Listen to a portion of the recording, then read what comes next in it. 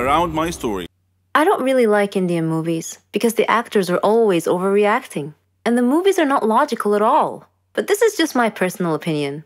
However, I've discovered that there are stories stranger than Indian movies. Let me give you a real life example. I'll tell you a story about a young woman named Samantha. Samantha was a beautiful girl with blonde hair and green eyes.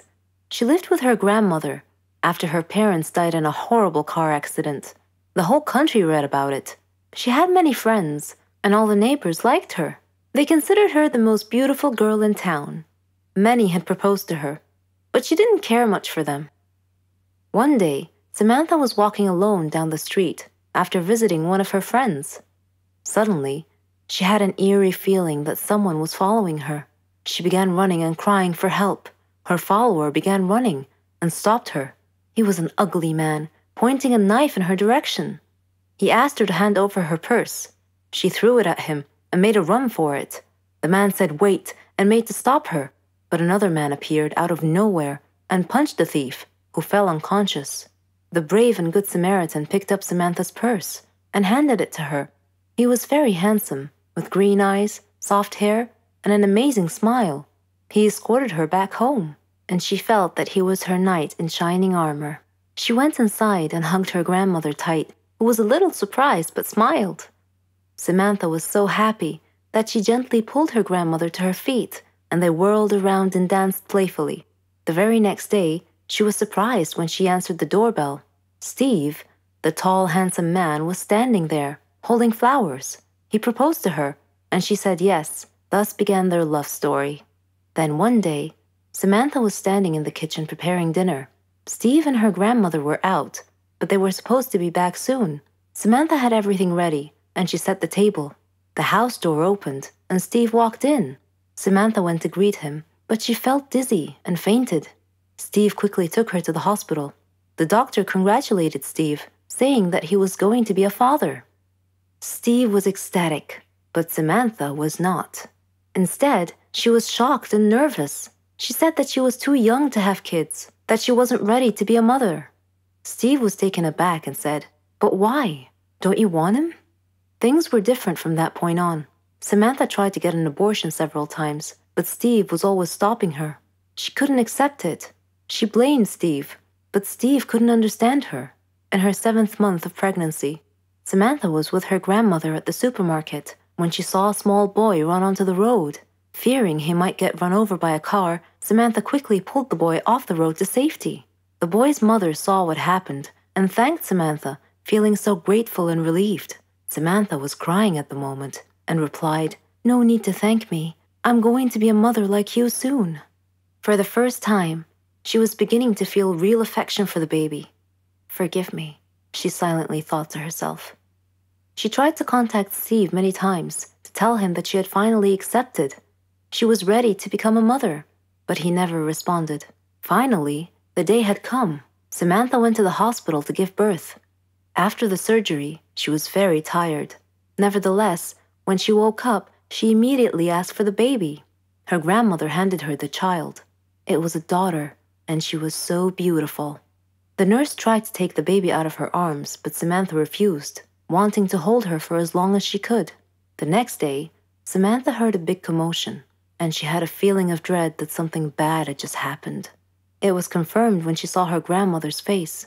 She asked what had happened, and her grandmother told her that a child was missing and had apparently been kidnapped. Samantha's pale face slowly pleaded, Please don't tell me that it was my daughter. When her grandmother nodded, Samantha broke down and began crying and wailing in pain. The nurses tried to calm her down, and when she did, her grandmother came over to her and handed her a note.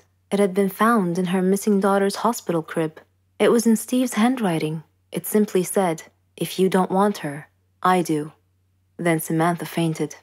For many years, she tried finding her baby, but couldn't. Steve and her daughter had vanished into thin air. She felt as if time had stopped for her, but Steve didn't feel that way. He raised their daughter into a beautiful young woman. He named her Margot. Whenever Margot asked about her mother, Steve would always tell her that her mother was dead.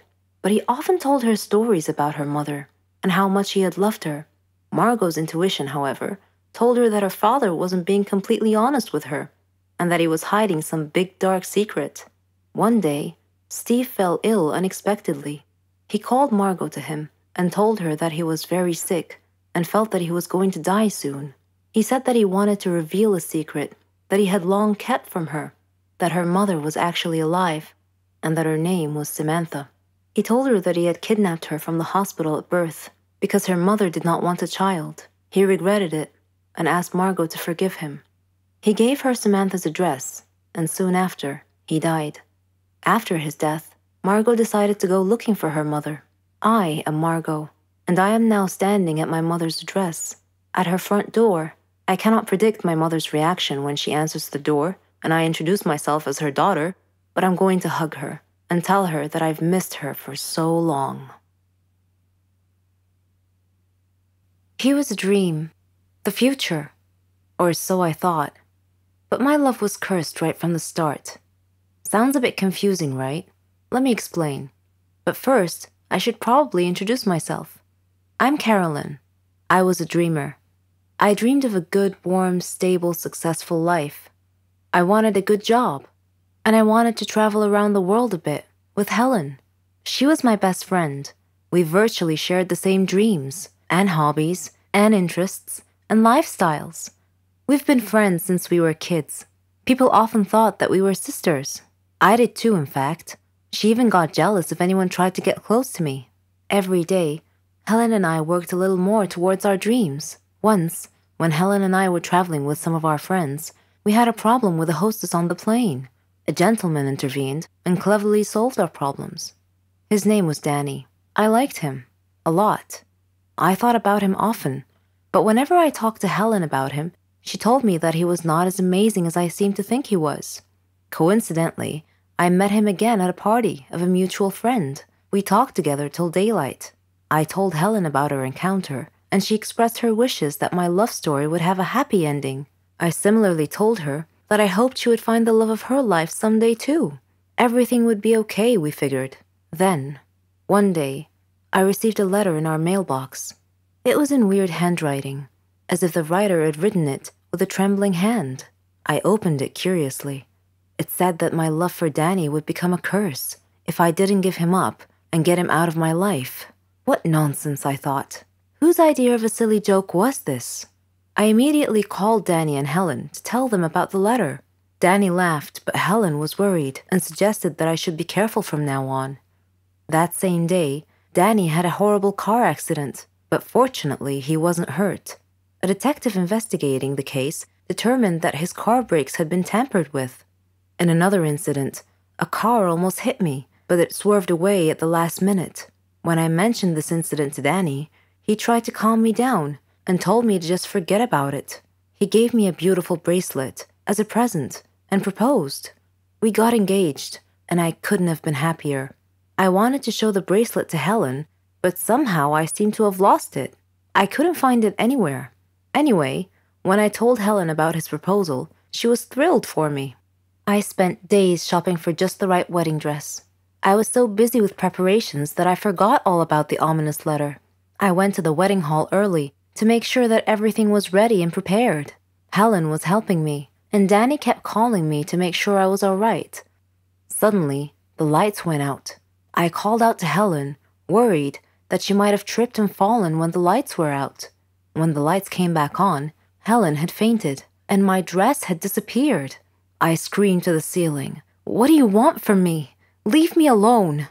Suddenly, Danny appeared out of nowhere and asked me what had happened. I told him then and there that we must break off our engagement, otherwise, the curse the letter mentioned might injure someone or cause someone to die. Then Helen came to and tried to calm me down.